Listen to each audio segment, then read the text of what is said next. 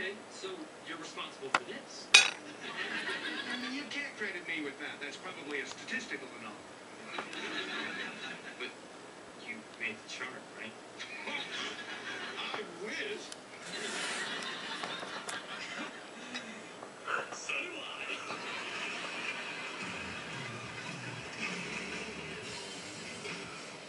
Okay, question number three. Was the food service industry your first career choice? Heck no, Fez. I always wanted to go into showbiz. In fact, I was in the Tommy Bartlett Water Show at the Wisconsin Dells. Yes. Women water skiing in bikinis. Very erotic. Anyway, I was the top girl on the pyramid. They fired me for getting knocked out. Let me finish this one for you, Edna. Fez, this is the story where I ruined my mother's fabulous water skiing career. Yeah, well, you did.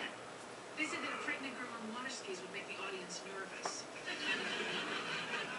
Not to mention you were probably hideously fat. Oh, no, no, no, I look great. I kept my weight down by smoking.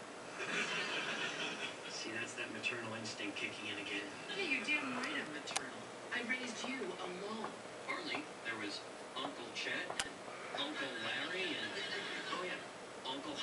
Johnny. I suppose I should have just become a nun when your father walked out on me. Hell, he must have been crazy to leave all this. Always a smart ass, Steven, just like your father.